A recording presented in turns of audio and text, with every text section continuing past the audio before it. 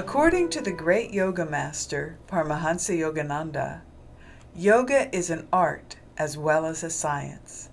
It is a science because it offers practical methods for controlling body and mind, thereby making deep meditation possible.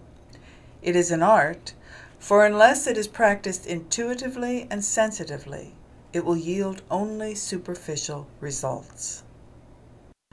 Often the mind cannot concentrate simply because of tension or illness in the body. This tension prevents the energy from flowing to the brain, allowing ease of the mind body connection, and in addition creates harmful emotions. Yoga teaches us how to work with energy of the body through breath control. Through controlling the breath, we can still the mind and calm the emotions to attain higher states of awareness. We learn to direct our concentration in such a way as to merge our consciousness with the infinite. Yoga means union. It means uniting the little self with the higher self. The primary purpose of Ananda Yoga is to raise consciousness. Hence its full name, Ananda Yoga for Higher Awareness. Ananda Yoga not only includes asanas and breathing techniques, modified and suited to the physical needs of the practitioner, but also meditation and the classical teachings of yoga philosophy.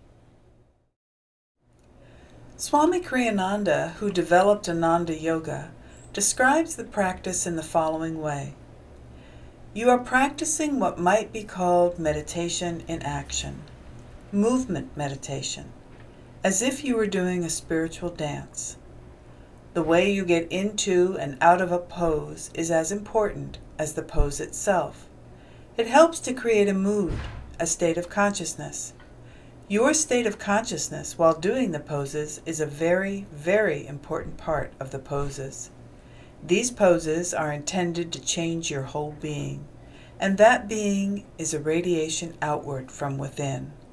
What you are within, that you will be without. Ananda Yoga has helped to raise the quality of many people's lives. Our teachers operate from a spirit of service and respect towards their yoga students. They too are students of yoga and life and teach with an understanding that each student comes with a unique set of normal human worries, preoccupations, gifts, hopes, and dreams. Through Ananda Yoga, we learn to direct energy from the periphery of the body to its center and to raise the energy upward to the spiritual eye or chakra that lies at the point between the eyebrows. The more we do this practice, the more we experience a state of harmony and joy, physically, spiritually, and emotionally. In short, the more we discover the truth of Jesus' statement, the kingdom of heaven is within.